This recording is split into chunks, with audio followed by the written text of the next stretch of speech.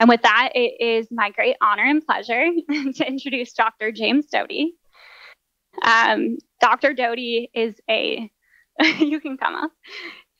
Dr. Doty is a neurosurgeon, a compassion researcher. Um, he is the founding director of the Center of Compassion and Altruism Research and Education at Stanford University. He's also, he's just showed me a screenshot of this. He's also the New York Times bestselling author of one of my personal favorite books, Into the Magic Shop, which has sold so many copies globally. And I know that I am one of many, many, many people, including others in this room, who have written him pages long testimonial emails about the impact of the book on my life. So, without further ado, thank you, Dr. Doty. Wow. Well, listen, it's uh, really an honor to be with you. And actually, thank you for that wonderful applause. But what I'd like you to do is to applaud yourself right now for being here because you've made the effort. So let's give each of ourselves an applause for our, our intention and uh, what we're going to do here. Uh, uh of course, at some point, you're all going to rebel because we're going to have you clapping all the time. Right? Um, so thank you for that wonderful introduction, Ariel. It was uh, very kind of you. so I want to make a couple comments first, and then I'd like to do a compassion exercise with you. How many of you are meditators? Wow, that's great. Uh, how many it doesn't work as well as you'd like? how many are self-critical. if you're not raising your hand, you're lying. Okay. actually, that's like this joke where these uh, people ask vegans. They said, you know, are, are, you a vegan? Oh, absolutely, absolutely. But when they do the survey, 78% cheat, right? So, so I hate to say that. Um, anyway, it's true. Uh, first, I'd like to tell you a little about my own story, which I think relates to a little bit of what Ariel said. So, my own background is I grew up in poverty. Uh, my family was on public assistance essentially my entire life as a child. Uh, my father was an alcoholic. My mother had a stroke when I was a child, was partially paralyzed, chronically depressed, actually attempted suicide many times. Uh, so you can see growing up in that environment, it's very challenging. And of course, as many of you know, we have this concept of adverse childhood experiences. And certainly, I will assure you that I probably hit all 10 of those. So, what was different for me? And I think this is something that's very important to this discussion because I, at the age of 12, actually was in great despair, a sense of hopelessness, and uh, I had no mentors, no resources. But what happened was I walked into a magic shop, believe it or not, and the owner wasn't there, but his mother was there. And she was a woman who had this radiant smile that embraced you. And that radiant smile, that embracing, gave me a sense of psychological safety.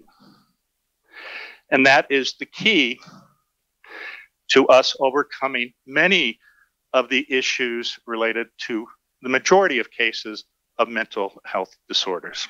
And what this woman did was, believe it or not, after a conversation, she offered to spend time with me an hour or two every day for six weeks. And in that time, she taught me what is now called mindfulness. But it was more than mindfulness because it also included compassion for self and compassion for others. And when you are compassionate to yourself, it changes how you see others. You see, because when you beat yourself up all the time, then you can't see the lens clearly. And so that interaction made me believe that I actually had the potential to uh, go to college, med school, become a neurosurgeon, a successful entrepreneur, et cetera. Um, and that's what my book is about in part. But uh, the key points of this, which I want to point out, and I know they're policymakers here, a lot of mental health issues have to do with income inequality, poverty, and some of these other issues which society, for whatever reason, has chosen not to support. And it's ridiculous to think that after the fact that we're going to solve all of these problems. You know, we have to give people uh, a living wage. We have to give people access to childcare. Because you see, every time, and I know this myself because I saw it, was people who are incredibly intelligent, incredibly bright people ended up becoming lost in the system because they gave up hope. And so I think this is incredibly important to think about in our discussions. Technology is not going to solve every problem we have in the world, nor in the mental health world. And I'm not saying that to be negative, but I think it's also a fact. The most important things in my own experience and what my research and the research of others is the following. The thing that is the best antidote to mental health problems is human connection, compassion, caring for others. And it's when you start looking through that lens that everything changes. But what has happened is in the modern world, unfortunately, it's going too fast. And our evolution has not caught up with our modernity.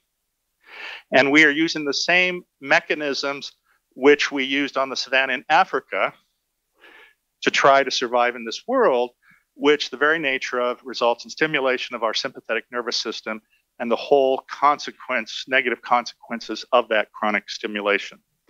So I would suggest that if we can create tools that allow for somebody to be authentic, to allow people to not be judgmental towards others, that allow people to see the other as themselves, that will give us the greatest effect on mental health overall. And again, there are many solutions, there are a whole variety of uh, technologies, but the problem with many of these, and Ariel pointed out some of these, is one, to be bluntly honest with you, for most people, therapy doesn't work that well. How many people are in therapy? And how many people feel that that's the greatest thing they've ever had? Oh, there's one hand. We'll say two, two, two. Okay. Maybe three or four. Uh, uh, but for many people, they don't even have access to that. They can't afford it. The other aspect is that pharmaceuticals, which of course the pharmaceutical industrial complex doesn't necessarily want to solve problems because then they have no customers, right? And but we also have medications that are marginally effective beyond the placebo effect. So we have to get back to the basic principles of how can we give people tools that will allow them to see the true nature of themselves, to be able to be authentic without fear of judgment, and is scalable and is readily available. Uh, because frankly, most people who are suffering oftentimes don't have the resources to help themselves. And again, the other aspect, as I told you from my personal journey, is one person reached out. And you see, we forget sometimes that each of us has the power to reach out to another person. You know, in our modern world, we walk by people, we ignore people, we're not interested because we think that next thing is more important. And as a result, as imagine 25% of people in the United States have not a single person to talk to when they're in pain, when they're in suffering, when they're lonely. And of course, it's been this has been exacerbated by the pandemic. So I think one of the most important gifts, at least in terms of what I can give you, is to make you understand the power within you to change people's lives. It doesn't take that much time. Sometimes it's simply a hello, but it's making the effort to reach out to another person who is suffering or who you may not think is suffering. You know, you don't have to come from poverty to suffer. There are many children who grow up in affluent environments who suffer deeply. This is a universal problem. And also, the most important thing is to be kind to yourself. Because once you're able to get over the issue of I'm not good enough, I'm not smart enough, I'm an imposter. I know none of you have ever experienced that here. Uh, but uh, when you're able to love yourself, when you're able to sit there and say, Yes, I'm not perfect. Yes, I made mistakes, but I still deserve love. That is critically important because that will liberate you and it will allow you to see the true nature of reality. So, thank you.